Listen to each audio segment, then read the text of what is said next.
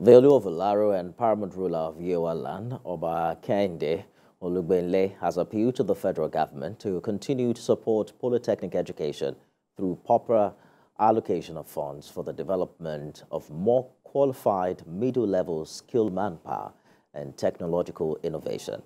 He made this appeal during the inauguration of the PolyTV of Mass Communication Department, Federal Polytechnic, Ilaro. TVC News' Kazim Olowe has details and will return with business news. It was a thing of joy for the people and residents of Ogun West as they witnessed the test run and unveiling of the Poly TV of the Mass Communications Department, Federal Polytechnic Ilaro, Ogun State. The paramount ruler of Yewa Oba Kehinde Olugbenle, joined the rector of the institution to lead other eminent personalities in the land to the occasion. While speaking about the contributions of the Polytechnic to the development of skilled manpower and machines in the country, the paramount ruler wants the federal government to allocate more resources to the institution. Coming here today to commission this TV station, I think is a thing of pride uh, to me and uh, to the good people of Yewaland. Uh, but what we need now is we need more support from this present government.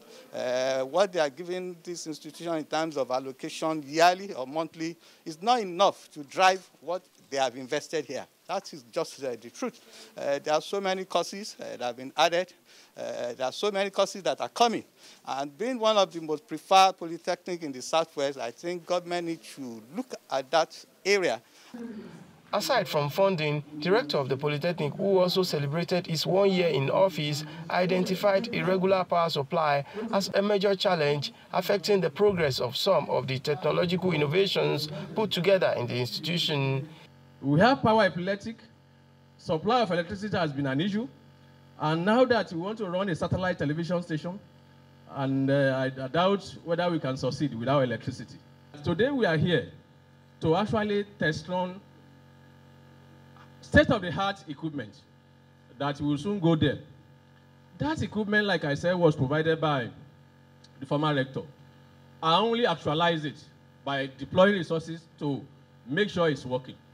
And that that television, I want to assure you, is a brand that will sell every nook and cranny of Ogun West. The license we have is the first license to be granted any institution to transmit directly to the homes of Nigerians. The TV station, which is the first of its kind in the area, is expected to serve as training ground for students studying mass communication in the institution and provide platform for information dissemination, education and entertainment. Kazim Olowe, TVC News, Ilaro.